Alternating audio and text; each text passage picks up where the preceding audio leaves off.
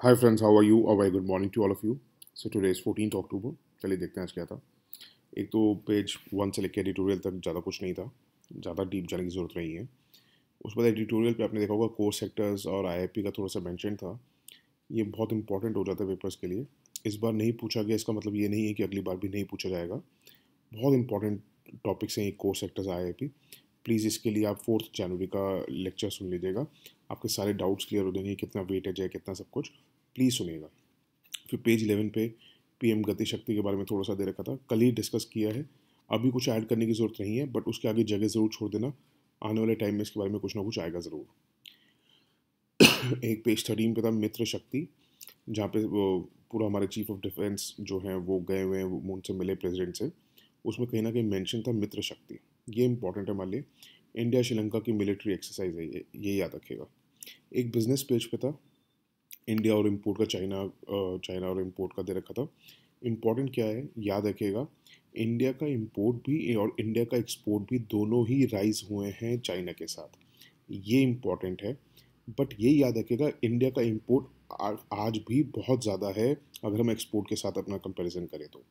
तो ये मत कंफ्यूज होना जो हमारे को प्रिलिम्स में कई बार इकोनॉमिक्स के जो स्टेटमेंट्स आती है ना, वो बहुत कंफ्यूजिंग आती है, याद रखिएगा। इंडिया का इम्पोर्ट और एक्सपोर्ट दोनों बढ़ा है बट आज भी इंडिया का इम्पोर्ट एक्सपोर्ट से बहुत ज़्यादा है फ्रॉम चाइना ये इम्पोर्टेंट है। दूसरा इंडिया का जो एक्सपोर्ट से बहुत सारी आइटम्स होंगी जो हम इंडिया से एक्सपोर्ट करते हैं चाइना इम्पोर्ट बहुत सारी आइटम्स है। जो मेजर आइटम्स हैं ना, वो क्या है? आयरन ओर कॉटन और जो रॉ मटेरियल्स होते हैं बेसिकली ठीक है? ये हम इंडिया से एक्सपोर्ट करते हैं चाइना। इंडिया इंपोर्ट क्या करता है चाइना से? बहुत सारी चीज़ें उसमें भी केमिकल्स बहुत हैं। इसमें मेंशन नहीं था, क्योंकि क्या है कि मैकेनिकल और इलेक्ट्रिकल मशीनरी और मेडिकल सप्लाईज ये मेजर चंक है। इसके अलावा बहुत कुछ होता है। अगर हम बात करें टेक्सटाइल्स में तो बहुत ज़्यादा टेक्सटाइल्स इंपोर्ट होती हैं। अगर हम केमिकल्स की बात करें तो सारा केमिकल्स वहाँ से इंपोर्ट हो रहा है मोस्ट ऑफ़ द तो इसलिए ज़्यादा उसमें जाने की ज़रूरत नहीं है। जो मेजर सप्लायर्स मेजर हमारी इम्पोर्ट और एक्सपोर्ट है वही देखने वाली चीज़ है। उसके बाद कुछ नहीं था, कुछ फॉर्डर दे रहा हूँ। आप देख रहे होंगे, कल से न्यूज़ में थोड़ा वीर सावरकर का, जब से राजनाथ सिंह जी ने बोला उसके बारे में चल रहा है, थोड़ा सा हम इसके ऊपर पॉइंट्स ले लेते हैं, क्योंकि हो सकता है आपसे प्रिलिम से पूछ लें। एक तो विनायक सरवारकर जिनको वीर सरवारकर भी कहते हैं, ये इन्वॉल्व थे in the formation of Hindu Mahasabha ये प्रेसिडेंट रहे थे हिंदू महासभा के 1937 से 43 तक, ये याद रखेगा।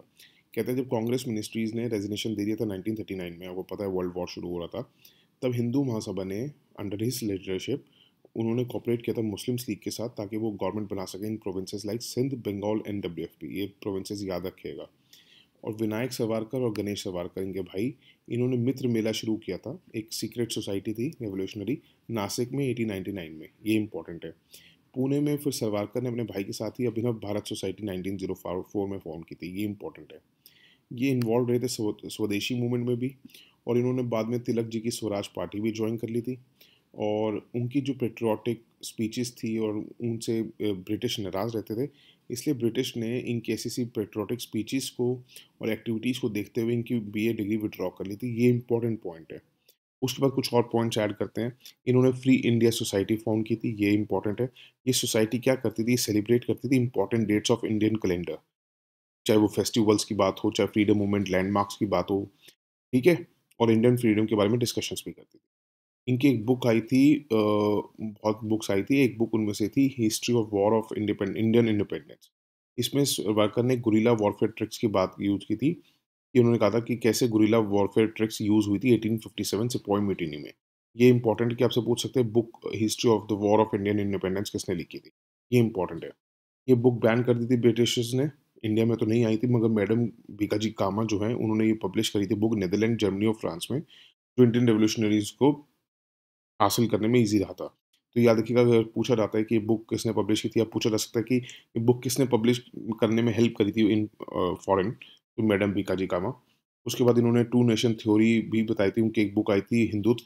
उसमें उन्होंने टू नेशन थ्योरी की बात की थी, उन्होंने कहा था हिंदूज और मुस्लिम्स टू सेपरेट नेशन है, ये याद रखेगा और हिंदू महासभा ने ये रेजोल्यूशन भी पास किया था 1937 में टू नेशन थ्योरी का।